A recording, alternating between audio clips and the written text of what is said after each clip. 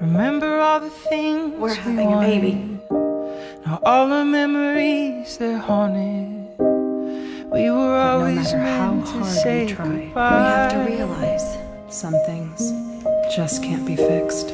Even with our fists held high, it never would have worked out right. We were never meant for do or die.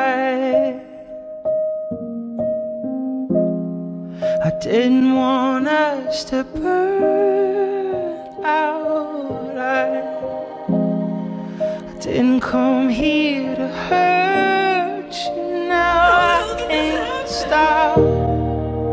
I want you to know that it doesn't matter where we take this road, but someone's gotta go,